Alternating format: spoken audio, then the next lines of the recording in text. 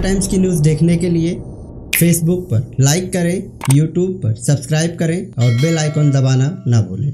मैं इस्लामुद्दीन खान और आप देख रहे हैं प्रहार टाइम इस समय मौजूद है मुम्बरा के संजय नगर में और आपको बता दें कि आज मुम्बरा के संजय नगर में एक पाँच मंजिला इमारत क्रैक होने की खबर सामने है आपको दिखाएँगे। ये पाँच मंजिला इमारत है जिसका नाम है श्री शाही अपार्टमेंट है। ये पाँच मंजिला इमारत आज करीब दो से तीन बजे के आसपास में इस इमारत में रहने वालों को आवाज़ सुनाई दी, जिसके बाद इमारत में करीब छत्तीस से सैंतीस परिवार रहते थे। इन सभी लोगों ने इमारत को खाली करा दिया है। हालाँकि जैसे ही ये खबर मनपा के अधिकारियों को लगी कि संजय नगर में श्री शाही अपार्टमेंट जो है धोखादायक है और यहाँ से जो है क्रैक होने की भी खबर सामने आई। हम आपको तस्वीरें दिखाएँगे कि जिस तरह से ये इमारत का आप भीम देख रहे हैं, यहाँ पर जिस तरह से क्रैक हुआ, इसी तरह का आपको इस इमारत के जो फ्लैट हैं, उनमें भी इसी तरह के दरार मिलेंगे और पीछे के साइड में जो नाला है, जो गटर है, वहाँ भी जो भीम है, इसी तरह का जो है वहाँ भी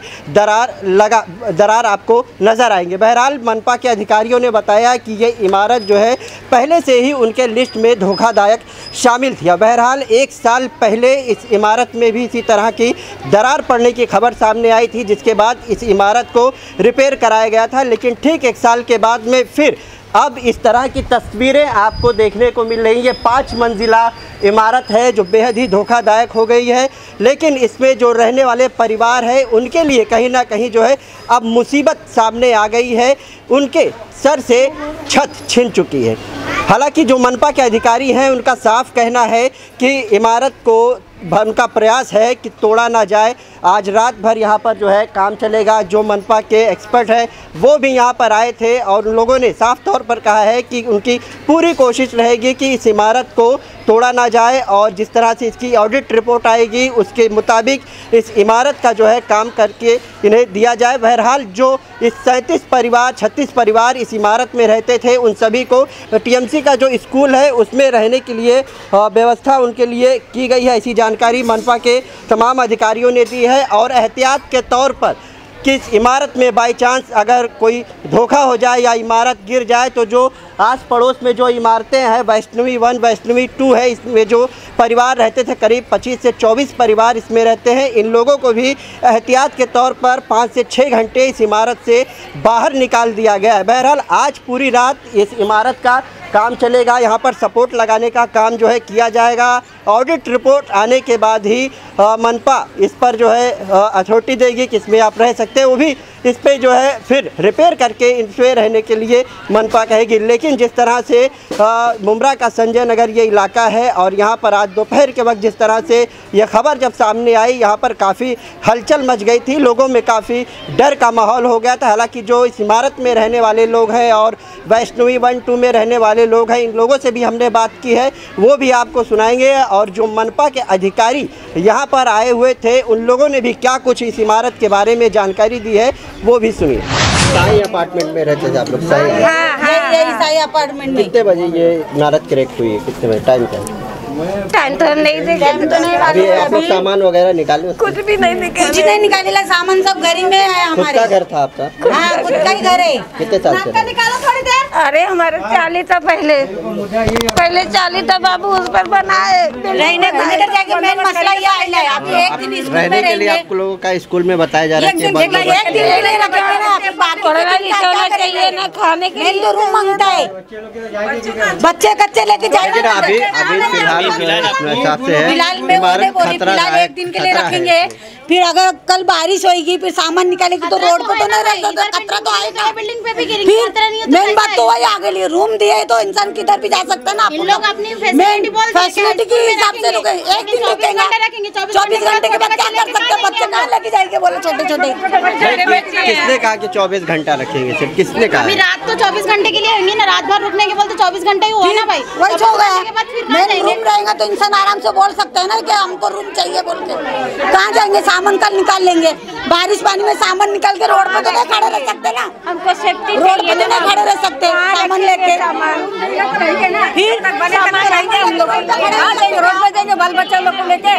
उनका उनका तो कहना है मनपा के जो अधिकारी है उनका कहना है कि आप लोगों को रहने का बंदोबस्त करेंगे। वही रहने का बंदोबस्त करेंगे तो खाली करेंगे ना हम लोग भी।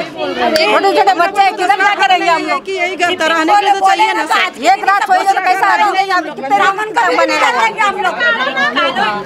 सामान निकाल के कहाँ रखेंगे? रोड पे रखेंगे? दूसरे घर है नहीं हम लोग को रहने के लिए यही एक ही घर है। तो रहने के लिए जगह चाहिए घर भी नहीं है हम लोग किधर दूसरे घर है नहीं कहीं भी। हम लोग रहेंगे कहाँ ये बारिश में बच्चे लोग को लेके? तो मैं अकेली रही थी मेरा ड्यूटी मर गया अभी अभी महीना हो गया। अकेली क्या कर सकते हैं? ऐसा ये ग्राउंड में मेरे को रूम दिए वो लोग ने। जो बीमार है छोटे छोटे बच्चे वो सब किधर लेके जाएँगे? आप लोग के पास और कहीं पर्याप्त बंदोबस्त नहीं नहीं है है इस वक्त कुछ भी नहीं है। लॉकडाउन लग गया बारिश पानी में किसका धंधा है किसका नहीं है क्या करेगा इंसान गरीब इंसान? कौन पैसा कमा फिर सब घर में है बारिश पानी के टाइम पे। हमारे अब्बा तक घर में बैठे ले इंसान कहाँ क्या करेगा इंसान? बोलो वाला भी। हमारा बिल्डिंग था तो हम बिल्डिंग में रहते थे, दो रूम था मेरा।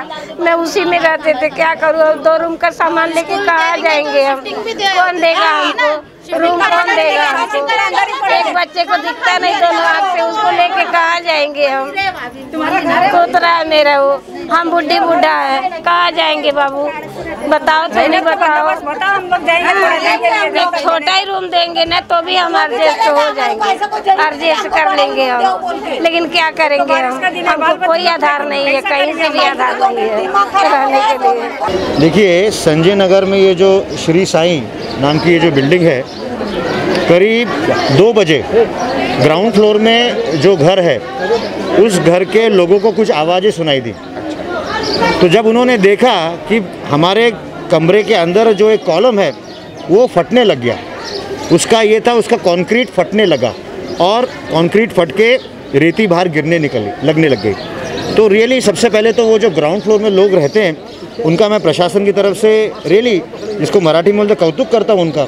क्योंकि उन्होंने इतनी सतर्कता दिखाई और इमीडिएटली बिल्डिंग के सब लोगों को उन्होंने बताया कि अभी बिल्डिंग खाली करने का समय आ गया है, क्योंकि कुछ बिल्डिंग अभी डेंजरस लगने लग गई है। एक चीज़ अभी मैंने हमारे सहायक आयुक्त साहब से पता करा है कि ये बिल्डिंग प्रशासन की तरफ़ से धोखादायक घोषित की हुई है। इमीडिएटली जब ये बात हुई तो हमारे फायर ब्रिगेड के लोग यहाँ पहुँचे और हमारे कार्यकारी अभियंता गोसावी साहब भी यहाँ पहुँचे। एक चीज़ मैं आपको बता देता हूँ, हमसे पहले यहाँ के जो स्थानीय नगर सेवक हैं, वो यहाँ पहुँच गए थे। और उन्होंने लोगों को बाहर निकालने में प्रशासन की बहुत मदद करी। एक चीज़ मैं आपको बता देता हूँ, प्रशासन का एक जो मेन एम है, किसी भी हालत में हम भी नहीं चाहेंगे कि ये बिल्डिंग टूटे। अगर ये बिल्डिंग रिपेयर हो सकती है तो हमारी तरफ़ से पूरी कोशिश की जाएगी कि ये बिल्डिंग रिपेयर करने का मौका हम लोगों को दें। लेकिन उसके पहले कुछ उपाय योजना करना ज़रूरी है। मेरे ख्याल से वो टेक्निकल बातें हैं तो गोसावी साहब बताएँ तो ज़्यादा ठीक रहेगा। इन लोगों को रहने के लिए कोई बंदोबस्त उपाय किया गया है? देखिए अभी कैसा है कि ये तो एक इलीगल बिल्डिंग है है ना? और बिल्डिंग धोखादायक हो चुकी है। मानवता की दृष्टि से बाजू में ही अचानक नगर में एक स्कूल है। वो स्कूल हमने खोल दिया है। मनपा का स्कूल है। हाँ मनपा का। तो इन लोगों को इन लोगों का जिसको बोलते हैं ना तात्पुरती पुनर्वसन टेम्प्रेरी रिहेबिलिटेशन पर्यायी व्यवस्था दी जाए पर्याय व्यवस्था। तो हम स्कूल में कर रहे हैं। इसका पूरा नियोजन हमारे सहायक आयुक्त तो साळुंके साहब कर रहे हैं है ना? और इसमें हमें स्थानिक नगर सेवक का भी सपोर्ट है। रहा प्रश्न बिल्डिंग गिरे नहीं तो ये बहुत ही एक टेक्निकल इशू है।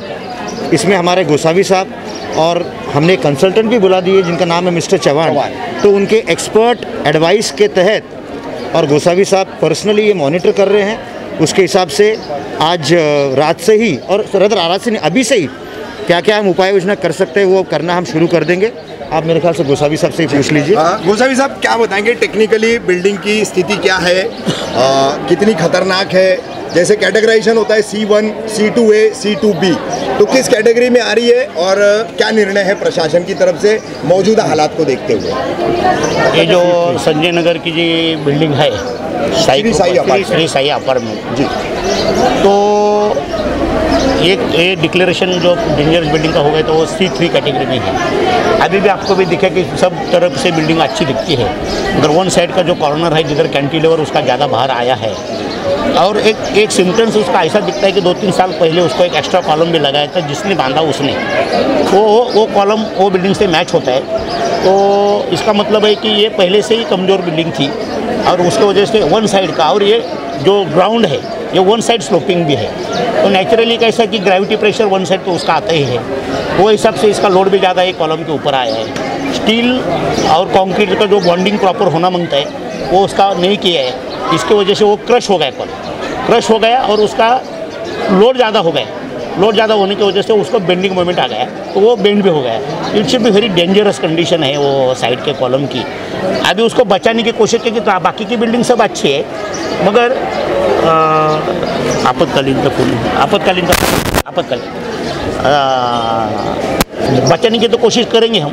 वो वो साइड से उतनी स्ट्रेंथ वाला कॉलम कंक्रीट का तो रातों रात खड़ा नहीं कर सकते अपन। तो स्टील का आई सेक्शन का डबल जॉइन करके तो उसके ऊपर स्टेपनर डाल के, उसको स्ट्रेंथ दे के नीचे एक इंच का प्लेट डाल के, ऊपर भी प्लेट डाल के, उसको बचाने की कोशिश करेंगे। और कल फिर उसका पूरा टेस्टिंग करेंगे कंक्रीट का स्टील का क्रोजन कितना हो गया रेशो कितना आ गया उसका, और किस टाइप का ग्रेड का कंक्रीट भरा है इस मगर उसको तो टाइम लगेगा ही थोड़ा। तो चौहान साहब आर सी सी कंसल्टेंट है अपने अपने पैनल के ऊपर के है। उन्होंने बहुत सी बिल्डिंग भी रिपेयर की है मुमरा में। ऐसा ही उनको बोला कि भाई बचेगी तो बचाने का। मगर सब रास्ते जब बंद हो जाएँगे तो हमारे पास लेकर रास्ता उसको तोड़ने का। डेमोलिश कर दे हाँ डेमोलिश कर देंगे। अच्छा। मगर अभी मेरे को इतना डाउट आ रहा है कि उसको रातों रात सपोर्ट लगाना बहुत ज़रूरी है। इसके लिए लोगों के लोगों ने भी साथ करके आई सेक्शन तुरंत लाना माँगता है और चौहान साहब के अंडर सुपरवाइजर में लगाएँगे। तो बिल्डिंग बाकी के बिल्डिंग को तकलीफ़ नहीं होने होना माँगता है। क्योंकि अपन खाली तो कर दिया। कि, कितने दिन ये प्रक्रिया चलेगी? उसके लिए कैसे कॉन्क्रीट कौन सा भी करके दो तीन दिन तो स्ट्रेंथ लगने ये लगता है। अट्ठाईस दिन अट्ठाईस घंटा तो उसको अट्ठाईस घंटे में कॉन्क्रीट को स्ट्रेंथ आने में टाइम लगता है। उसका फिर भी हंड्रेड परसेंट नहीं आता है। उसका फिफ्टी परसेंट आएगा अट्ठाईस घंटे के बाद में। तो डेढ़ डेढ़ दिन जाएगा। तो और डेढ़ दिन समझो, तीन दिन में उसका प्रोसेस पूरा करेंगे। मगर रातों रात कॉलम लगाएँगे तो मेरे को थोड़ा एश्योरेंस आएगा कि बिल्डिंग टिल्ट हो रही है नीचे आ रही है और नहीं आ रही। है वो हिसाब से। और दूसरा एक ट्रायल है वो पट्टी का वो मैं अभी करता हूँ उसका फ्लोरिंग को लगा के कि बिल्डिंग का डिप्लेक्शन हो रहा है या नहीं हो रही है। वो हिसाब से अभी वो भी करेंगे हम। आप सब लोग जाने के बाद में हम उसका टेस्टिंग चालू करेंगे। हाँ, सालुम सालुम के साहब आसपास में इमारतें हैं मकान हैं बिल्डिंग टिल्ट होती है या कहीं भी एक तरफ़ झुकती है तो बहुत सारे मकान या दूसरी बिल्डिंग जद में आ सकती है। इसके लिए क्या सावधानी की उपाय योजना की गई है? अभी जो बिल्डिंग श्री साई अपार्टमेंट जो बिल्डिंग थी उसको तो हम लोग शिफ्ट कर रहे हैं उन लोग जो रहीवासी रहेंगे तो उसके बाजू वाले भी दो वैष्णवी वैष्णवी हाँ, वैष्णवी करके बिल्डिंग है उसमें भी ट्वेंटी फ्लैट्स है कुछ। तो तो उन रेसिडेंट्स को भी हम लोग शिफ्ट कर रहे हैं। आगे के साइड में भी एक चाल है उसमें छः रूम्स है तो उन लोग को भी हम शिफ्ट करने की सोच रहे हैं। तो माननीय उपायुक्त साहब के साथ हम लोग जो स्कूल आचार्य नगर का स्कूल है वहाँ का एक बार इंस्पेक्शन करके वहाँ लोगों को शिफ्ट कर रहे हैं।